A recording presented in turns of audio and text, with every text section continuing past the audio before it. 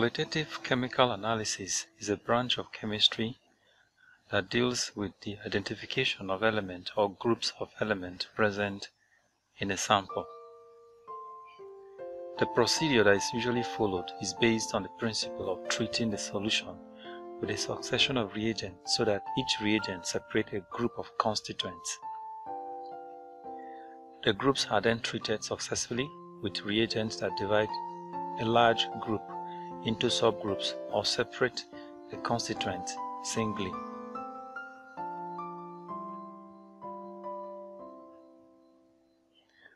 When a constituent has been separated, it is further examined to confirm its presence and to establish the amount present, that is the quantitative analysis.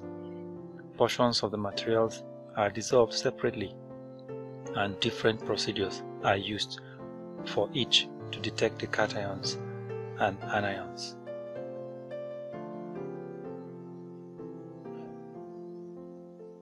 In this edition, we will be looking at identification of cations, that is positive ions.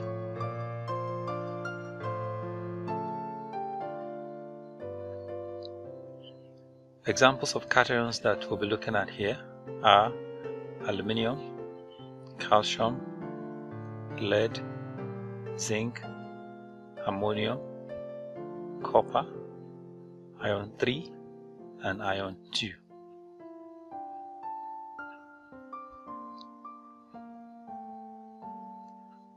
The two successive reagents we will be using here and in this particular order is 1 sodium hydroxide and 2 ammonium hydroxide. We will first use sodium hydroxide followed by ammonium hydroxide. Alright, our first test solution contains aluminium. The first test solution contains aluminium and just like I said earlier the two test reagents are sodium hydroxide and ammonium hydroxide so we will first use sodium hydroxide first we'll add it to a solution that contains the aluminum ion first in drop and then we will add it in excess for sodium hydroxide if you add it in drop a white precipitate is formed and then if you add it in excess white precipitate becomes soluble in sodium, excess sodium hydroxide. That's all for sodium hydroxide. And now we'll go to ammonium hydroxide. When you add ammonium hydroxide solution to a solution that contains aluminium, first will form a white precipitate, and if you add it in excess, will form a white precipitate insoluble in excess of the ammonium hydroxide. Now, let's look at the recall symbol the recall symbol here read ALSIN. It can be pronounced as alsin. Alsin.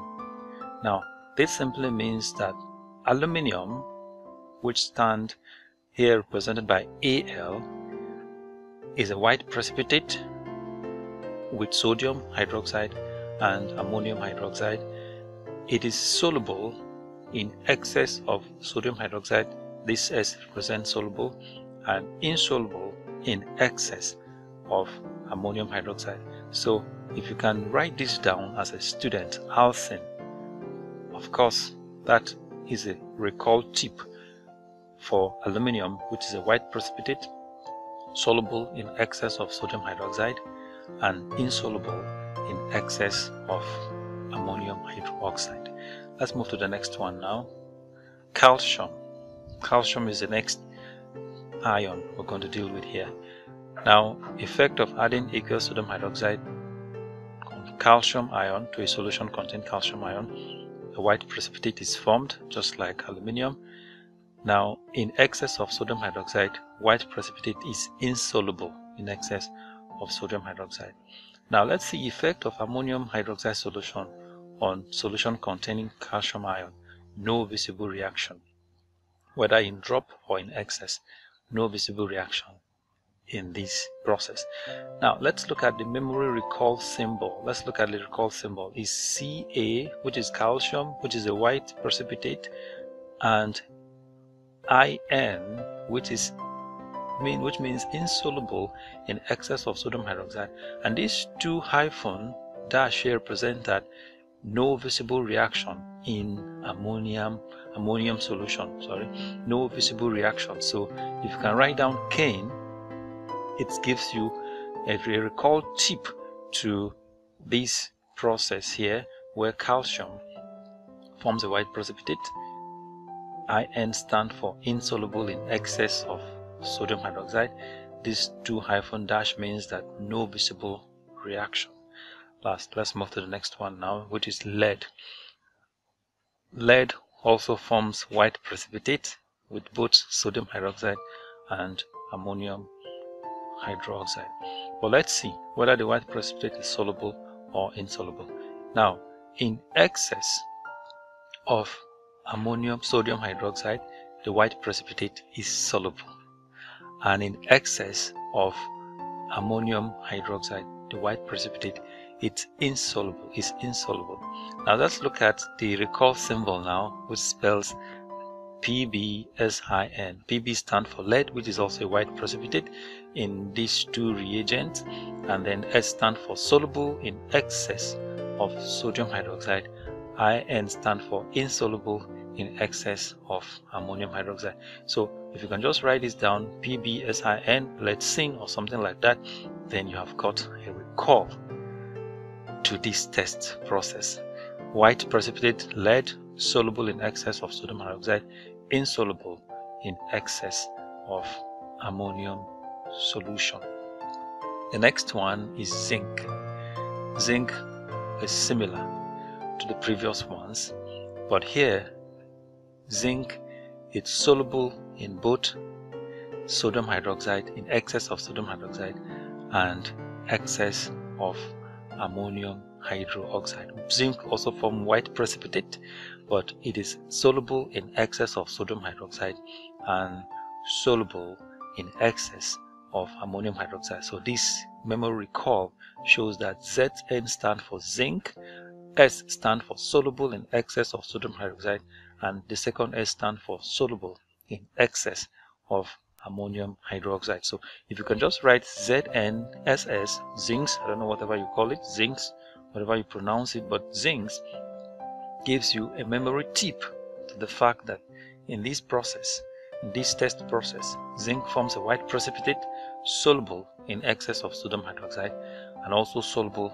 in excess of ammonium hydroxide. The next ion we'll be looking at here is ammonium ion. This is a very unique reaction because in this reaction no precipitate is formed. No precipitate. In all the two test reagents, ammonium ion does not form any precipitate. So if you're carrying out a reaction in a test tube and after adding sodium hydroxide in drop and in excess, no precipitate is formed, you now pick the second reagent which is ammonium hydroxide and then you add it. No precipitate is formed either in drop or in excess. Then the clue is you suspect ammonium ion. Okay we are finished with white precipitates. We're now moving to colored precipitate the first colored precipitate that we have here is copper copper forms a colored precipitate and the color here is blue. Copper forms blue precipitates with sodium hydroxide and ammonium hydroxide. Now let's see. Sodium hydroxide in drop, when you add it to a solution containing copper ion, it will form a blue precipitate. In excess of sodium hydroxide, the blue precipitate is insoluble in excess of sodium hydroxide. It also forms a blue precipitate in with ammonium hydroxide in, in drop. And the blue precipitate is soluble in excess of ammonium hydroxide. Let's look at the memory recall now. That is C-U-I-N-S C-U-I-N-S C-U-I-N-S which means copper. Of course you should have it at the back of your mind that copper forms blue precipitate. And then is the blue precipitate is insoluble in excess of sodium hydroxide and the blue precipitate is soluble in excess of ammonium solution. Okay, now let's move to the next one now. We're now in the category of colored ions. So copper forms a blue precipitate.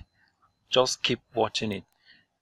It will always recall in your mind that copper forms blue precipitate. Let's move to the next one now, which is iron 2. Iron 2 here forms a green precipitate. Green precipitate. So when you add sodium hydroxide to a solution that contains iron 2, it forms a green precipitate. In excess of it, the green precipitate is insoluble in so excess sodium hydroxide.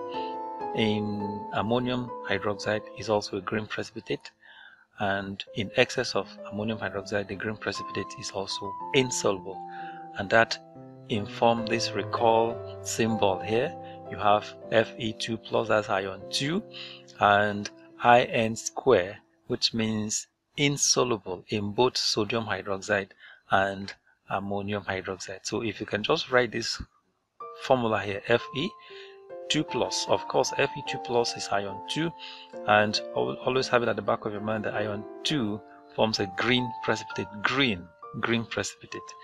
And In square here means insoluble in both the sodium hydroxide solution and ammonium hydroxide solution. So just watch this very carefully. When you watch it carefully, your memory will capture that iron 2 forms a green precipitate. The green precipitate is insoluble in excess of sodium hydroxide and insoluble in excess of ammonium hydroxide. Alright, the next one now is iron 3. Iron 3 forms a reddish brown precipitate in both sodium hydroxide and ammonium hydroxide solution.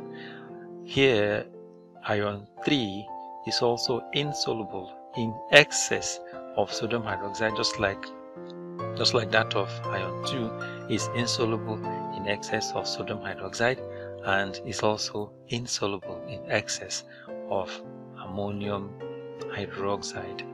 Now iron 3 is reddish brown just like the color of rust iron.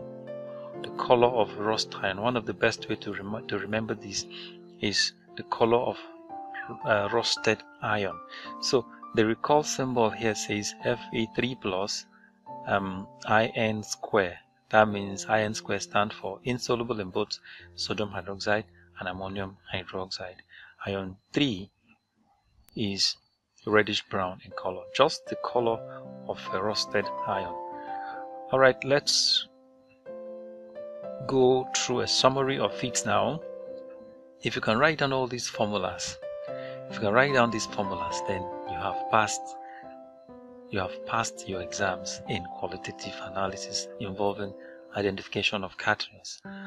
Aluminium would stand for Al3 plus alsin. Alsin here means that aluminium stands for Al and um, um, S stand for soluble in excess sodium hydroxide and insoluble. In stand for insoluble in excess of ammonium hydroxide. Please note there, note here that the order of our test reagent, the first one is sodium hydroxide and the second one is ammonium hydroxide. If you alter the order of our test reagent, this formula becomes invalid.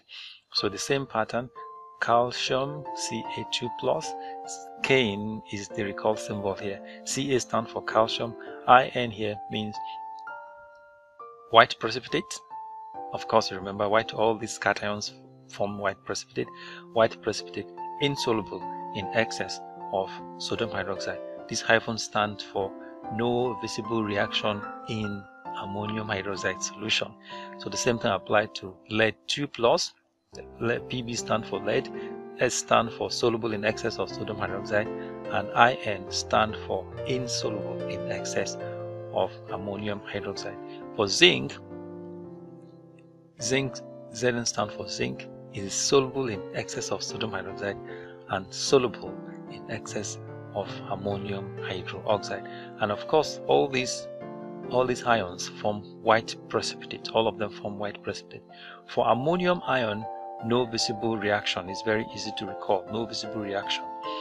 Copper forms a blue precipitate. Forms a blue precipitate. Blue precipitate insoluble in excess of um, sodium hydroxide and soluble in excess of ammonium hydroxide.